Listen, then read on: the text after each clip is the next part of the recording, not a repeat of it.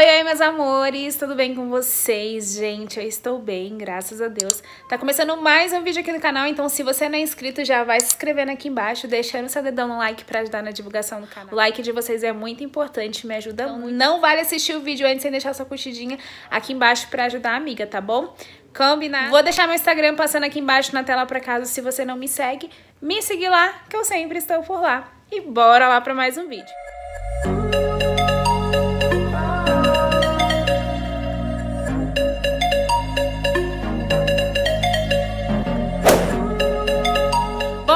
esse vídeo aqui eu vou mostrar hoje pra vocês. Como vocês viram aí na descrição do vídeo, fazendo kibe, é muito facinho.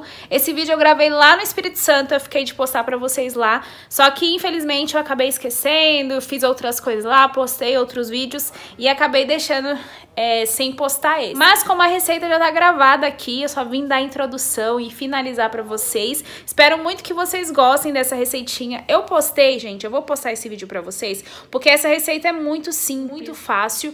E esse quibe a gente fez ele assado, ficou maravilhoso porque não ficou gorduroso, ficou super saudável. Foi a primeira vez que eu fiz o quibe, meu pai pediu pra fazer e aí ele foi lá, comprou a farinha é, de quibe, comprou os ingredientes e a gente resolveu fazer e ficou muito gostoso. Então quis postar aqui, compartilhar pra vocês, espero muito que vocês gostem. Então bora lá acompanhar a receita, bora! Bom, meus amores, para iniciar nossa receita, vou começar aqui colocando esse tempero. Pode ser um sazon, qualquer tempero que você quiser para carne. Eu fervi, gente, 750 ml de água, tá? Depois que ferveu, eu coloquei aqui e dissolvi o nosso tempero. E aí o tempero, você vai colocar o tempero a gosto. Se é caldo quinó, é tempero pronto, aí você decide, tá? Vou dissolver aqui o tempero na água e aí em seguida vou colocar 500 gramas de farinha de quibe. Vou colocar toda essa farinha aqui e vou mexer, tá? Vou mexer e depois que a gente mexer, eu vou colocar para hidratar. Essa farinha ela vai hidratar mais ou menos por uns 30 minutinhos, tá? E aí você pode pôr uma tampa ou cobrir com um pano mesmo. De início, esse vai ser o processo, tá bom? Aí coloca um pano, deixa descansar por uns 30 minutos. Em seguida, gente, assim que descansar esse nosso quibe, passou 30 minutos, você vai perceber que a nossa farinha vai, ter, vai estar bem úmida e aquela água ela meio que desaparece. Aí a nossa farinha, vocês podem ver, tá bem úmida, tá temperada com caldo de carne de galinha, de caldo de carne, desculpa, e o temperinho pronto que eu já fiz. Foi só isso que eu coloquei na água e a farinha de quibe. Vamos colocar agora um ovo inteiro.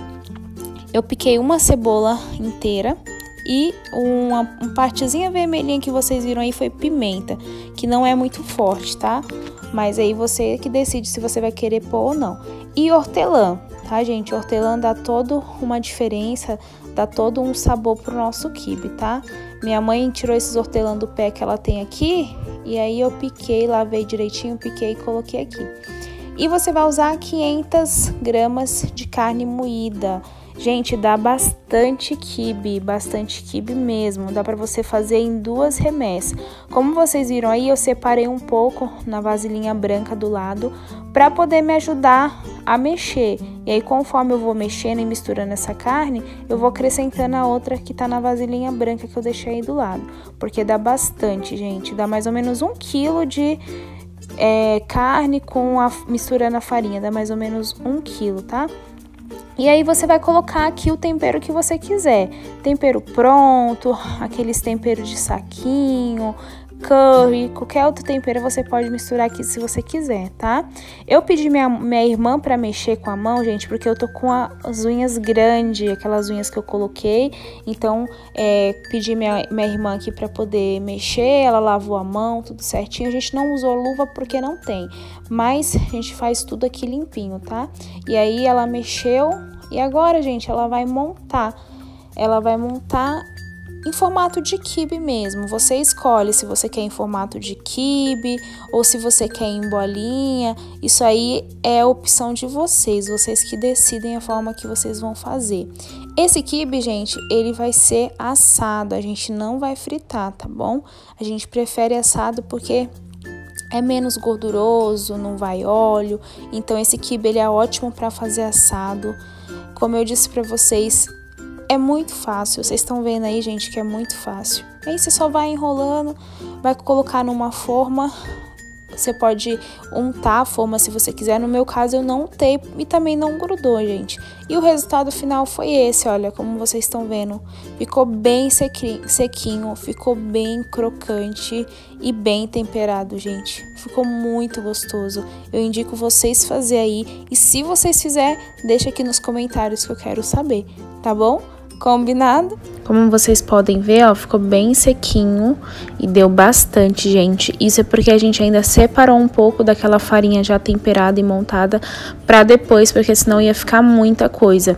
E aí a minha irmã tá fazendo aqui um molinho, que é ketchup com maionese, bem facinho, gente pra gente passar, né, no nosso quibe.